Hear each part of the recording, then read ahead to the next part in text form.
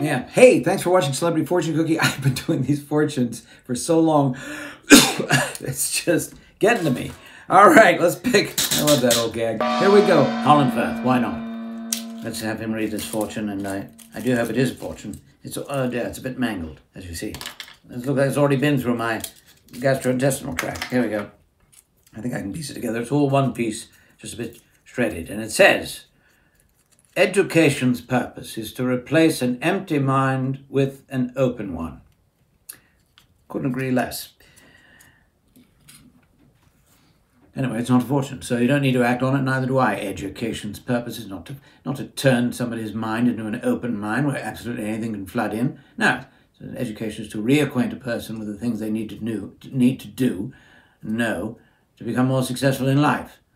That's all to tell them what's going on, how it all runs, and let them make the decision, not to be so open-minded they go around like some flippity-gibbet, just taking everybody's piece of advice.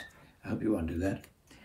Very well, I, I have, you don't mind me getting testy there, but it's just sometimes things burn my ass. Be perfectly frank. See you tomorrow on Celebrity Fortune Cookie. Hey, if you like this video, please hit the subscribe button below and share it. Tell your friends. I really appreciate it. I think it's uh, one of the great things of the modern world that we can uh, convey these thoughts to one another. So don't hold back.